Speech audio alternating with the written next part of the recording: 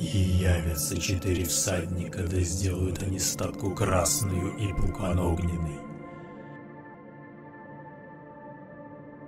Я видел, что игрок снял первую из семи печатей, и я услышал одно из четырех животных, говорящее как бы громовым голосом «Иди и смотри, я КВ-2 вкачал!» Я взглянул, и вот танк бурый, и на нем всадник, имеющий альфу. И дан был ему фугас, и вышел он как победоносный, и чтобы победить встал на захват. И когда он снял вторую печать, я услышал второе животное, говорящее «Не бери, добьем». Да, друзья, видимо, нам всем кранты. Я нашел самый днищенский клан по статистике в Вот Блиц. Поставьте видео на паузу, выпейте валерьяночки, карвалольчика, потому что такого вы точно еще не видели. Сделайте глубокий вдох и...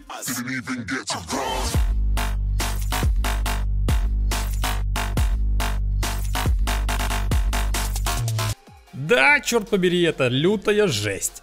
Львиная доля игроков от 7 до 41% побед. Армейский четвертый комсомольский отряд.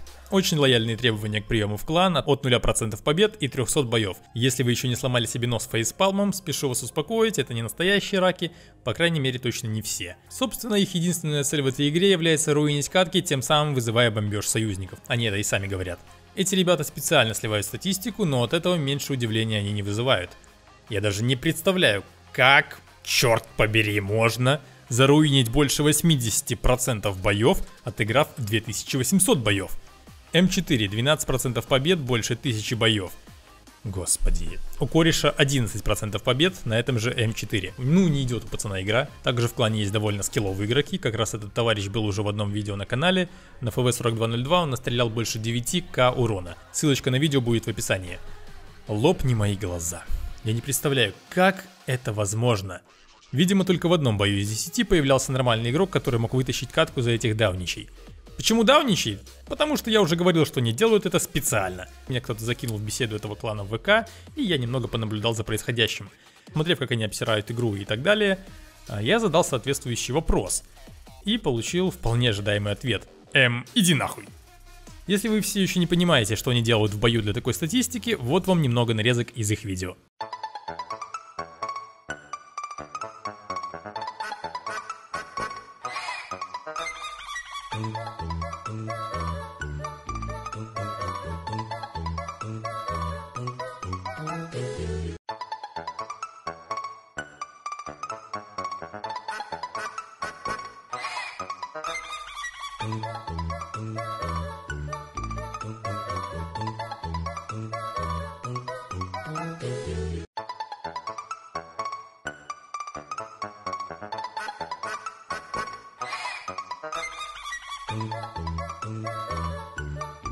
И тут-то возникает вопрос, а для чего это все? С одной стороны, понятно, что люди не любят игру, э, но с другой стороны, какого черта ты тут сидишь? А если уж ты тут сидишь, то зачем портить игру другим людям?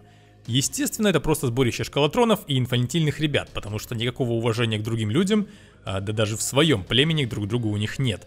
А также они с легкостью разводят других игроков и ничего такого в этом не видят. Уважаемый игрок, на вашем аккаунте было обнаружено бла-бла-бла, и дайте логин с паролем, а то бла-бла-бла. И они дают логин с паролем. А я согласен, что лохи сами виноваты, но все же, развести можно и бабку у метро. Но этого никто не делает, кроме таких вот отбросов. Конечно, глупо пытаться кому-то что-то доказать из них, ведь собрались ребята с одним одинаковым жизненными понятиями, уровнем интеллекта и развития. Это то же самое, что подойти к толпе гопников и попытаться им что-то объяснить. Второй вопрос, почему эти ребята еще не в бане? Понятно, что они создадут новые аккаунты, разведут кого-то на аккаунт и так далее, но это не значит, что аккаунты с запредельным неспортивным поведением не нужно банить. Wargaming, алло! Тут не поспоришь, что они умеют добиваться своих целей, потому что даже у меня пукан пригорел. От того, что нас окружают настолько обиженные и мелочные люди. Э, парадокс как больших танков, так и Блица в том, что есть много недовольных людей, которые продолжают играть в эту игру. Я думаю, что это одна из загадок человечества, на которую никогда не будет получен ответ. Ладно, ребята, будем заканчивать. Пиши в комментариях, что ты думаешь о таких игроках. Может, по-твоему, они делают все правильно. Это я ничего не понимаю.